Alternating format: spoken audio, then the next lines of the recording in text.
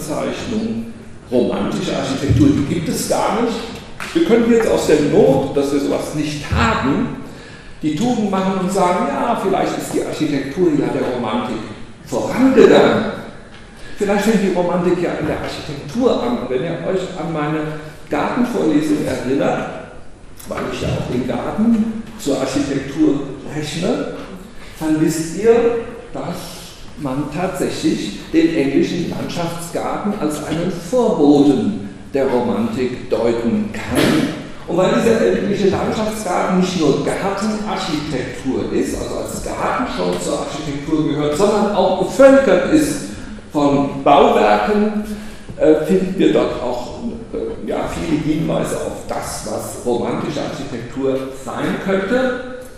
Ich hatte euch Stowe Gardens gezeigt und werde das jetzt auch äh, wieder tun, also der eigentlich berühmteste englische Landschaftsgarten.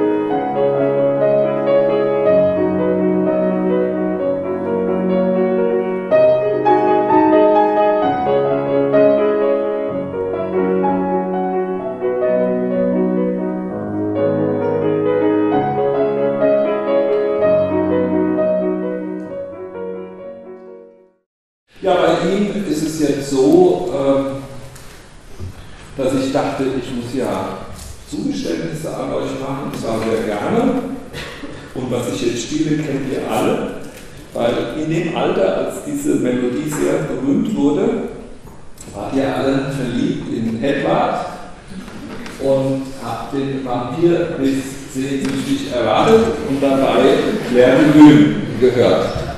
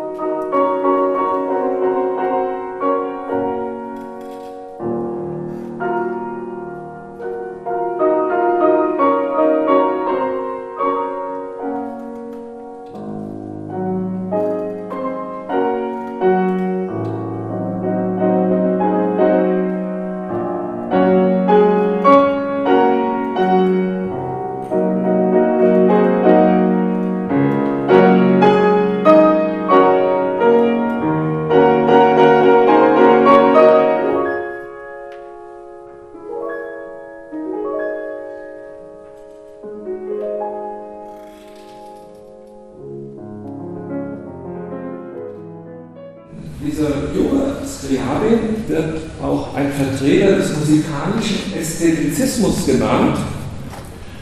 Und äh, das passt ja natürlich sehr gut zum Jugendstil und zur Jugendstilarchitektur.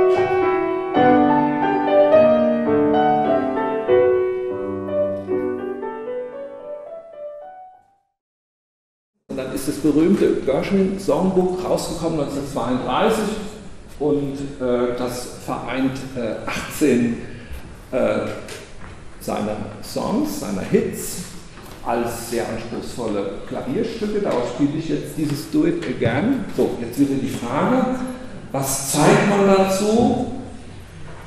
Und da bleiben wir bei dem Los. Wir haben hier die American Bar gesehen mit den Streifen und jetzt sehen wir auch ein Haus von ihm, das wir noch nicht kennen, das auch nicht gebaut wurde. Das ist ein Entwurf, den er aber selber für einen seiner besten hielt. Und das ist das Haus für Josephine Baker. Und das war ja jetzt kein Broadway-Star, ein Revue-Star in Paris. Und Los hatte ja, nachdem er so viel Ärger in Wien hatte mit der, mit der Wiener Bevölkerung, ausgelöst durch den Skandal seines Hauses am Michaelerplatz, ist er quasi nach Paris geflohen, hatte dort ja auch Freunde, nicht zuletzt Corbusier, der ja den Haushaltsornament und Verbrechen ins Französische übersetzen ließ und veröffentlichte. Dort geht er eben auch in die Revues, sieht die Josephine Baker, die 90% aller Pariser Männer verliebt sich in diese Frau, in diese Wildkatze und nimmt bei ihr auch Tanzunterricht, berüstet sich dann auch in Briefen, er sei ihr bester Tanzschüler gewesen. Lassen wir mal da hinstellen. Aber hört dann von ihr auch, dass sie ein Haus bauen will und äh, dadurch kommt es zu diesem Entwurf. Wir müssen vermuten, dass Josephine Baker, wenn sie überhaupt diesen Los zur Kenntnis genommen hat, auf jeden Fall von diesem Außenentwurf nichts wusste